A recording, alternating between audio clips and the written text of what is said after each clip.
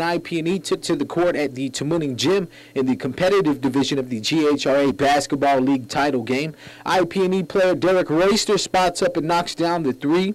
Reggie Retchabong drives baseline and dumps the ball off to John Chaco, who takes it up and gets the reverse lay-in to fall for justice. IP&E came out on fire in the first half, hitting their shots from long range. Francis Benitez draining the shot from up top. Roki Charfris dribbling down court for justice, kicks it out to Reggie Rechabong for the wide open three. Down 30 to 25 at the half, Justice managed to pull away with six minutes left in regulations to take the lead by 15 points. The defending champions, Team Justice, repeat as champs with the 68 to 54 win. Roki Charfris put up 15 while Francis Benitez led IP&E in the loss with a game high 19 points. In the second game of the night, KFC and Outrigger met up in the recreation championship game. TK Irwin showing his range early on for KFC.